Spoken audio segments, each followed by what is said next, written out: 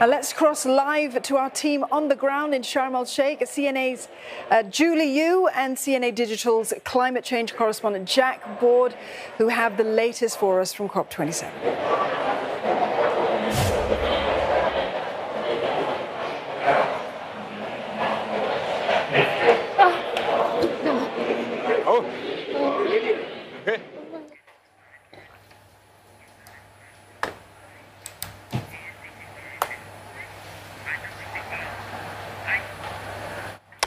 As we find out uh, whether Julie is uh, doing okay or not there, let's move on to news out of Singapore. And Singapore's apex court has found that the Workers' Party town councillors were grossly negligent in their payment process to a managing agent overseeing Aljunied Hougang Town Council.